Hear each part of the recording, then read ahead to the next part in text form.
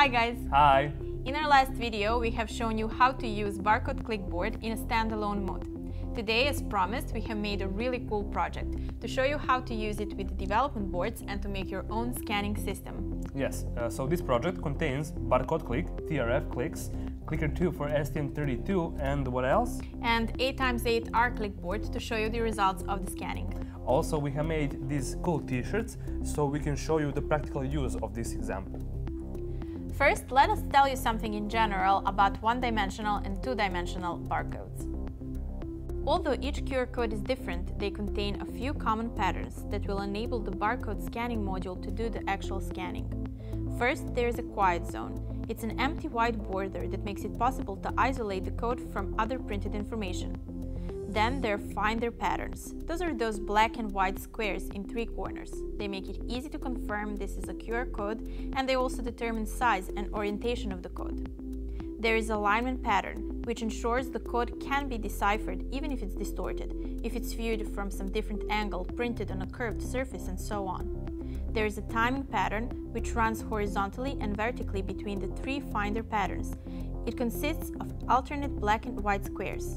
Timing pattern makes it easy to identify individual data cells within a QR code. It's especially useful when the code is damaged or distorted. Version information helps you to determine which version is used in a particular code. And there are data cells. Those are each individual black or white squares that are not part of those standards. They contain actual data in the code. 1D barcodes also have their patterns. First, there is a quiet zone. Then there is a start character. Then comes the encoded data, check character, and stop character. Okay guys, now that you know more about barcodes, uh, let us tell you something more about our project.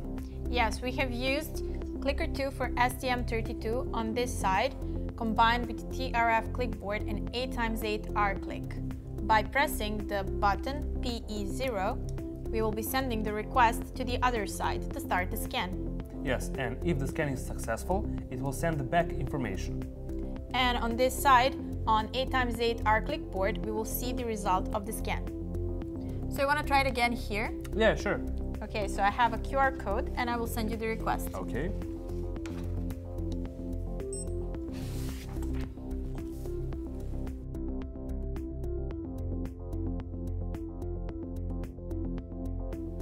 We have uploaded the complete project on our Libstock page, so go and check the link in the description box.